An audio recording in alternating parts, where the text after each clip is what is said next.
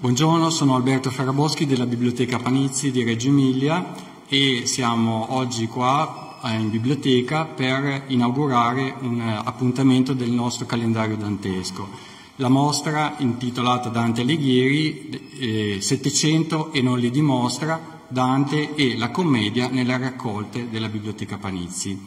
È, eh, come dicevo, un evento che si inserisce nell'ambito eh, del calendario dantesco promosso dal Comune di Reggio Emilia insieme ad una serie di istituzioni e associazioni del Comune di Reggio Emilia che eh, nel corso dei 700 anni della morte di Dante Alighieri hanno realizzato una serie di eventi e di iniziative sul territorio reggiano che si svilupperanno fino alla fine eh, di eh, quest'anno.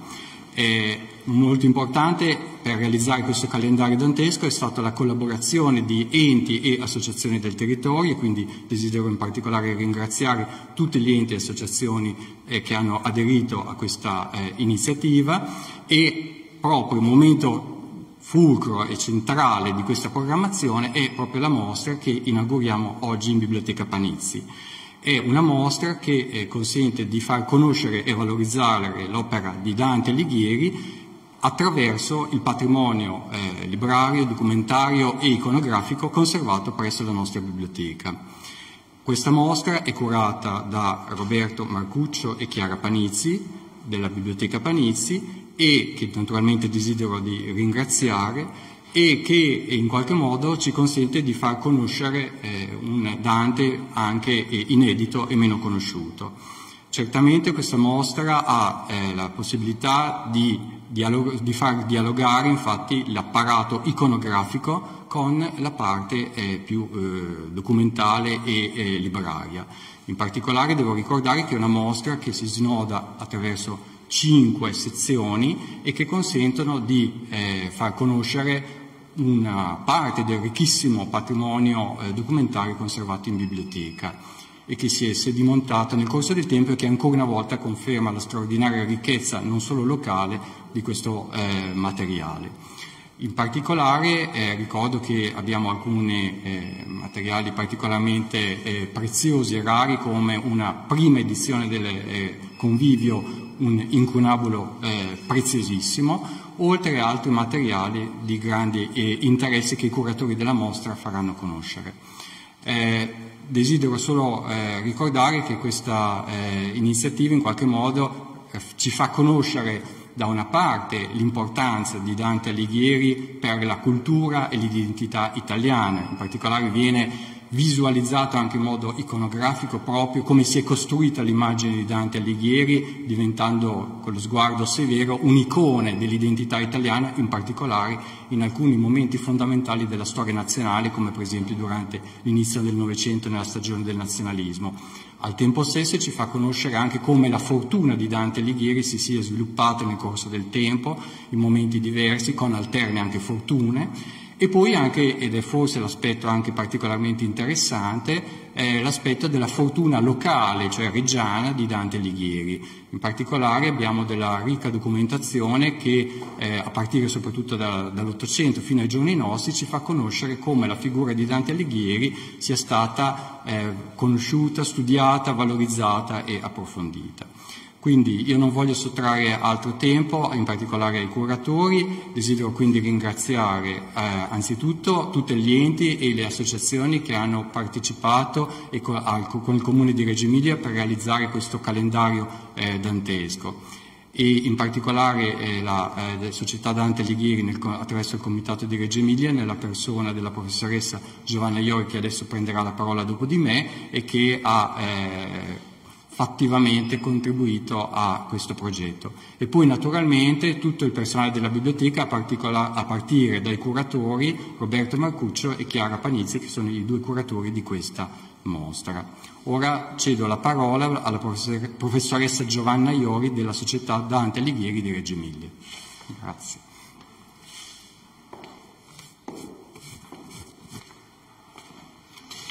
Buongiorno, grazie per l'invito. Um, inaugurare questa bellissima mostra e volevo dire che io parlo innanzitutto a nome mio personale ma anche di tutto il mio comitato della Dante perché Queste celebrazioni dantesche hanno dimostrato che Dante è veramente una figura identitaria, rappresentativa eh, della nostra nazione, non soltanto però in Italia, ma anche all'estero. E la, la società Dante Alighieri ha portato la figura di Dante in più di 400 comitati sparsi per tutto il mondo, per cui dappertutto in questi mesi stanno leggendo e studiando Dante. Io sono particolarmente contenta anche del fatto che Dante abbia unito ehm, in questo progetto presentato dal Comune le varie associazioni culturali reggiane e le hanno fatte diventare una sorta di famiglia culturale. Ehm, mi pare che non fosse mh, così evidente prima. E perciò noi siamo tutti orgogliosi, non solo la Dante, ma credo anche tutte le altre associazioni, anche quelli cui presidenti non sono presenti perché non riuscivano a stare in questa, in questa sala numericamente, perché è stato veramente con il coinvolgimento di tutti che si è riusciti a realizzare questo. E infine concludo dicendo che è un grande orgoglio per la città possedere un patrimonio così importante, così di pregio come quello che è stato selezionato dall'archivio della Biblioteca Panizzi, credo che sia uno dei più importanti mh, nella documentazione che è sparsa mh, in molte città d'Italia e qualcosa c'è anche fuori Italia. Di conseguenza io lascerei la parola ai due primi attori di questa mostra, cioè i due curatori nelle persone di Roberto Marcuccio e Chiara Panizzi.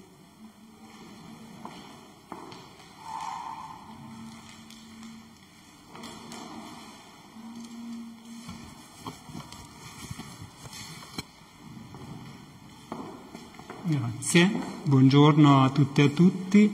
La mostra che oggi inauguriamo parte da una considerazione che è quella che l'interrogarsi sul nostro destino dopo la morte è un interrogativo che è vecchio come l'umanità. E su questa eh, domanda si innesta l'esperienza così particolare, singolare, grandissima di Dante Alighieri Dante Alighieri, eh, noi cerchiamo di dimostrarlo anche attraverso i materiali della mostra, ha attinto a numerose fonti più antiche, fonti classiche, fonti medievali, bibliche, fonti arabe e ha però rielaborato tutto questo in modo molto personale, perché la sua era una personalità estremamente grande e singolare che ha sofferto e vissuto le vicende storiche della sua età. Quindi il viaggio della commedia è un viaggio spirituale, ultraterreno, ma è anche un viaggio all'interno di tutte le contraddizioni di ogni creatura umana e Dante è riuscito a rappresentarlo nei suoi versi. E questa mostra, che appunto si compone, come ha detto il collega Alberto Ferraboschi, in varie sezioni, intende prima di tutto eh, proporre qualche risposta a tre domande principali. Cioè la prima è chi era Dante Alighieri, come sono giunte fino a noi le notizie sulla sua vita e come noi l'abbiamo immaginato e raffigurato. Per rispondere a questa prima domanda abbiamo esposto, per esempio, nella prima vetrina eh, la raccolta delle più antiche vite di Dante, cioè quelle di Giovanni eh, Villani, quelle di eh, Giovanni Boccaccio, quelle di eh, Giannozzo Manetti e di Leonardo Bruni, cioè gli umanisti, gli scrittori del 300 e del 400 Novecento che, essendo più vicini nel tempo, hanno cercato di raccogliere le notizie esistenti ancora su questo grande poeta. E poi abbiamo mostrato anche la ricerca eh, della vita di Dante per dare un'identità all'Italia nel 1865, quando si celebrava il sesto centenario della nascita e quando sono state in qualche modo riscoperte e valorizzate la casa della famiglia di Dante Alighieri a Firenze e la sua tomba che, come tutti sanno, è a Ravenna. Abbiamo cercato di costruire questo percorso proprio per far capire come in realtà sono poche le notizie storiche documentate sulla vita di Dante, ma come su queste poche notizie eh, il nostro paese, perché come è stato detto prima, Dante è, è in qualche modo il simbolo non solo della nostra lingua, ma della nostra letteratura e della nostra cultura, come è stato rappresentato. E la seconda domanda invece è come attraverso il libro, il libro manoscritto il libro a stampa, è stato rappresentato il grandissimo poema, eh, cioè l'opera più grande che Dante ha scritto, la Divina Commedia. E abbiamo elaborato un lungo percorso che partendo da eh, un facsimile di un manoscritto del 300 e poi da edizioni dal 500 al 900 mostra appunto come si sono evolute la storia del rapporto testo-immagine nella Divina Commedia e le diverse interpretazioni. E questa è appunto la terza domanda a cui vorremmo rispondere, cioè come coloro che sono venuti dopo di lui hanno letto Dante, l'hanno interpretato, l'hanno giudicato a partire dal 300, quindi dal suo stesso secolo, fino ad oggi. E qui abbiamo cercato di mettere insieme alcuni esempi, naturalmente, senza nessuna aspirazione di completezza, di interpreti, commentatori, studiosi di Dante. Il primo importante conosciuto è stato Giovanni Boccaccio, che già ricordavo prima, che è stato il primo a leggere pubblicamente la Divina Commedia a Firenze nel 1373 e poi fino a, per esempio, Ugo Foscolo, Niccolo Tommaseo e tanti altri grandi scrittori e critici che hanno giudicato l'opera di Dante e al tempo stesso gli artisti che hanno cercato di rappresentare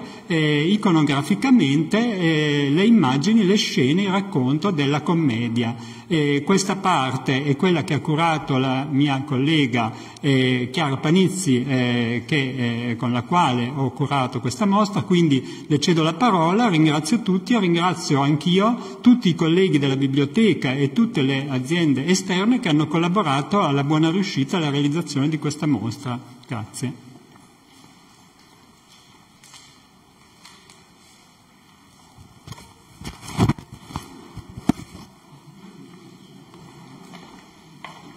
Buongiorno a tutti.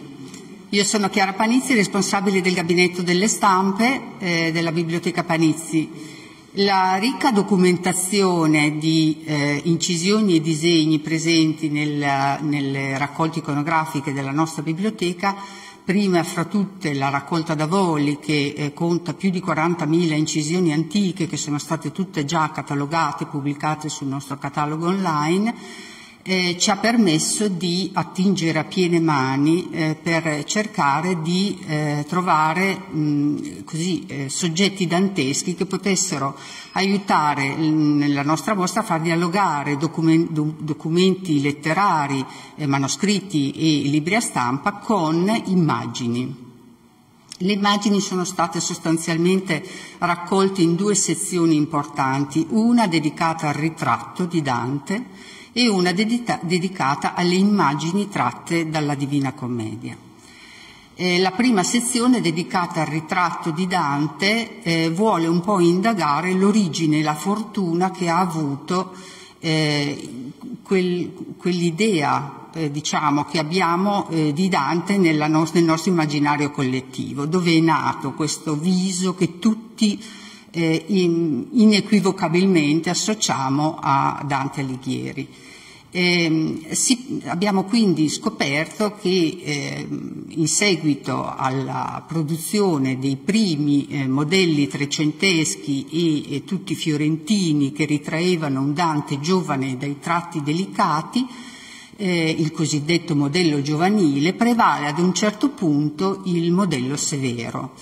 eh, che ha avuto sua, eh, diciamo, il suo apice in quel meraviglioso profilo eh, disegnato, dipinto da Sandro Botticelli nel 1495, eh, con tratti più marcati, il naso aquilino, il mento sporgente, la, questo sguardo corrucciato un po' severo, eh, l'alloro, ecco, eh, che è diventata l'icona ecco, che ci permette di identificare eh, senza dubbio eh, Dante Alighieri. Ehm, che cosa è successo tra questo modello giovanile eh, trecentesco e, e, questo modello severo che si afferma già a partire dai primi del Quattrocento? Eh, ciò che ha cambiato eh, le carte in tavola non è un riferimento pittorico, artistico, ma è eh, più che altro un riferimento letterario. Si tratta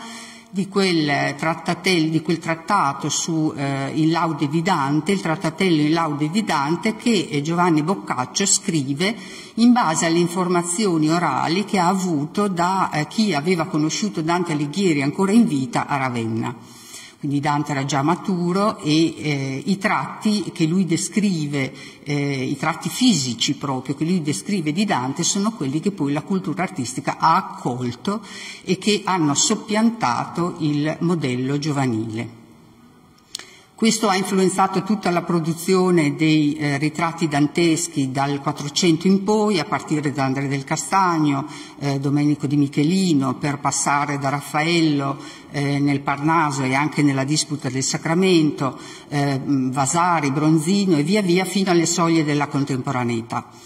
Eh, relativamente alla contemporaneità ci siamo concentrati sulla eh, esposizione di incisioni realizzate soprattutto in occasione del famoso sesto centenario, eh, sesto centenario della morte del poeta 1921 eh, che ha forse nella silografia realizzata da Lolfo De Carolis il suo esempio eh, più bello.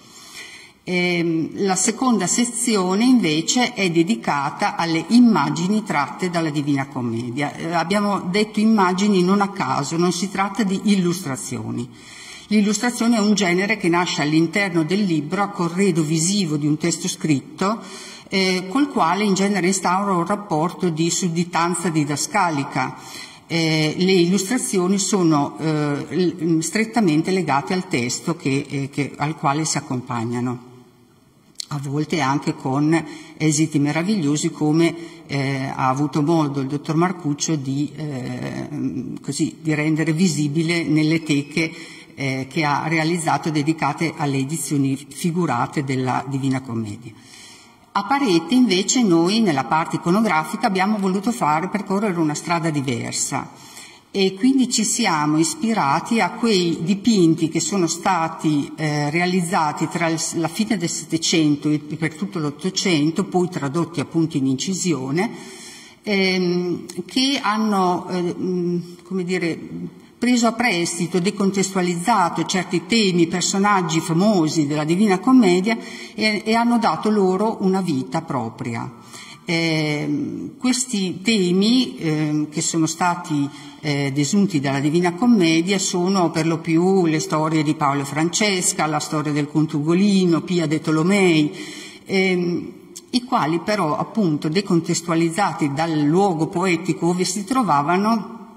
vengono come rivisitati, reinterpretati soprattutto dai pittori di epoca romantica che ehm, li eh, vedono attraverso gli occhiali dei contesti cult- culturali in cui vivono, della loro epoca. Eh, tanto che eh, facendo soprattutto perno sul gioco delle emozioni e delle passioni che si sviluppano in queste eh, tragiche vicende, suscitano la pietà dello spettatore davanti al quale queste figure che eh, Dante aveva giudicato colpevoli eh, diventano invece delle vittime. E quindi certi momenti della storia hanno assunto queste, queste vicende come fossero quasi dei manifesti eh, di lotta per eh, rivendicazioni di tipo politico-culturale che non appartenevano a questi stessi episodi se eh, letti all'interno del contesto dantesco del poema. E, ehm, in ultima analisi, una grande incisione, grande anche per dimensioni, incisa da Jacques Callot nel 1612, tratta da un disegno di eh, Bernardino Poccetti, dedicata a Cosimo II de' Medici, Granduca di Toscana, eh, nella quale l'autore dichiara di essersi ispirato a Dante, in realtà nella raffigurazione di questo che è la raffigurazione dell'inferno. In realtà questo tipo di raffigurazione non è esattamente corrispondente alla concezione dantesca, in quanto l'inferno dantesco è una cavità, questa si presenta come una scala, come una montagna con più gradini, eh, ma ehm, L'autore eh, comunque dichiara di essersi ispirato a Dante nella definizione delle pene capitali, nella descrizione eh, dei diavoli, di Lucifero, eccetera. Questo per dire che ancora nel Seicento un artista che volesse eh, raffigurare l'inferno non poteva prescindere, soprattutto in, in ambito fiorentino, dalla concezione dantesca. Vi invitiamo ovviamente tutti a visitare la mostra. Grazie.